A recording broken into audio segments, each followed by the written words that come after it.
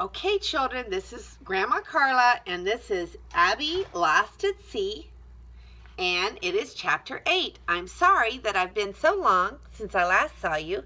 I've had a very busy week grading lots of papers, so it's finally Saturday, so I can read to you a little bit. Chapter 8.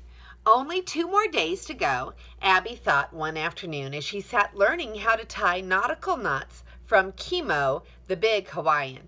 She had already learned how to tie the bowline and the half hitch, but Kimo seemed intent on teaching her how to tie a rope bracelet like the one he wore. When we land in Oahu, I show you how to make plenty bracelets with puka shell, he said with a wink. Then you look pretty, Wahine. My mother, Olani, she teach you to make island lei too. Abby grinned at the offer. I look forward to meeting her, Kimo. Is she as kind as you? The large man smiled, smiled proudly. Olani is like Goddess Pele, who spits fire from mountain. My mother is Alihi, from royal family. She big and beautiful, tall like me. But Olani wide. He stretched his arms out, like royal chiefess should be. Her hair like mountain mist and sometimes she spit fire too. He laughed at his own joke.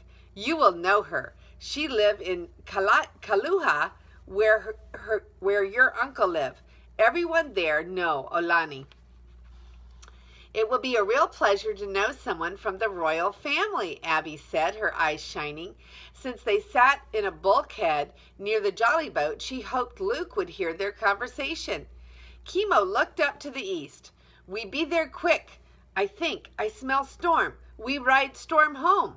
Abby's eyes followed his, but she could not see any sign of an approaching storm. Maybe, she said doubtfully. Kimo grinned. No maybe. It will come, he promised.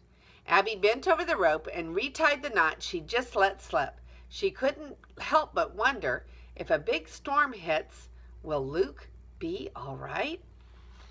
The sky darkened early. By six, the usually balmy wind turned cold, and the sky hovered overhead with black, threatening clouds. Captain McDonald ordered the crew to trim the ship's sails. When the rain began, it was not a steady patter of drops. It seemed a celestial floodgate had opened, and the water sheeted down in liquid walls. While the sailors scurried for their oilskins, Captain McDonald ordered all passengers to stay below decks for the duration of the storm. The one good thing about being cooped up in their cooped up in their tiny cabin was being able to eat there. Pa had gone to get the simple meal of hardtack biscuits and cheese and had distributed it to the family. Abby secreted two biscuits and a cheese chunk in her hanky under her pillow for Luke. Now, as she and Sarah clung to their berth, that night. He tried and tried to sleep. She hoped the storm would blow over before she had to go topside. For three hours, the Intrepid pitched and rolled like a bucking mule. Abby lay in bed, worried about Luke. At last, she had a warm bunk to toss. At least she had a warm bunk to toss in. He was being tossed about on the hardwood planks of the jolly boat. Finally, when the storm quieted briefly Abby's parents and Sarah fell asleep. Then Abby climbed out of bed carefully and slipped into her blue chambray dress. It took a minute to locate her shoes. They had been tossed into, a, into different corners of the tiny cabin. Normally she went in her stocking feet, but with wet deck, she decided to wear her boots. With her pockets full of biscuits and cheese, Abby left her cabin and started for the hatch. She could hear the rain pounding on the deck and knew she was bound to be drenched by the time she got to Luke's hideout. As she opened the hatch, the cold wind whipped her hair across her face. Rain sloshed down on her head and poured down her neck. Ugh, she said, grimacing as she lurched into the pitching deck. The ship keeled over to starboard, and Abby skittered across the slippery deck toward the railing. She grabbed onto the rigging and held fast, watching the lanterns at either end of the ship swing wildly in the storm. Thunder boomed, and suddenly lightning split the sky with the jagged slash of a white hot knife. Abby immediately ducked down to avoid being seen. She inched along the middle deck toward the jolly boat. The rain, rain stung her face and soaked through her dress.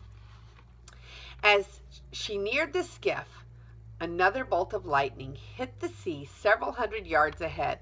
At the same moment, thunder boiled overhead with a deafening crash. Abby screamed, but her voice drowned in the howling wind and thunder. When she reached the boat, when she reached the boat, she flipped up the corner of the tarp, then dropped in the jar of water and threw herself in after it. She landed on Luke, who cried, Ouch! It's terrifying out there. Drenched and shaking, she clung to him. Abby, you shouldn't have come. He gingerly put his arm around her wet shoulders. Don't try to go back in the storm right now. It's too dangerous. You could be washed overboard. Don't worry, I'm not going anywhere, but you have to eat. Thunder rumbled overhead. When lightning flashed, the brightness penetrated even the heavy tarp, and Abby watched Luke's face pale with fear. The waves mounted and crashed over the Intrepid, tossing the ship like a cougar tosses a meadow mouse. Under the tarp, Abby and Luke clung to each other and the sides of the lolly, jolly boat, but they received a beating as they were thrown from side to side. Though it was already it had already raged for hours, the storm grew more furious. Towering waves crashed over the deck and dangerously tipped the ship. Abby slammed into Luke as the Intrepid's bow disappeared uh, under a wall of water, and the boat keeled over sharply. The starboard bulkhead, which the jolly boat fastened onto, submerged under the foaming sea. Abby clutched Luke's shirt as the jolly boat lifted, lifted slightly, then dragged under the washing water, rushing water. Hang on, Abby, Luke yelled. If the tarp rips off, we could go into the water. Suddenly, they heard the snap of one of the rusted brackets holding the jolly, bait, jolly boat in place. The little boat swung outward at the bow in the mighty surge of water. Abby's breath caught as she heard the stern bracket snap as well. Now free, the jolly boat plunged into the storm tossed sea. As the little boat dove into the waves, the tarp momentarily kept it from flooding and sinking. But as the skiff resurfaced, the portion above Luke ripped off, and he flew over the side as the jolly boat tipped in the heaving waves.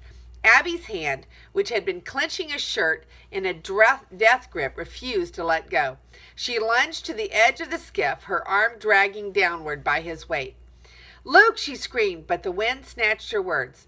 Luke's head disappeared underwater, and Abby got a mouthful of ocean as the jolly boat tipped sideways. It's going down, she thought in horror. Still, she did not let go of his shirt. In a mo moment, Luke resurfaced. He grabbed the side of the dunking skiff and hauled himself back onto it. Both of them lay gasping and soaked in the water as in the water pouring into the bottle, bottom of the boat. We've got to start bailing, Luke choked as he hauled up the bucket that he had that had been tied inside the stern.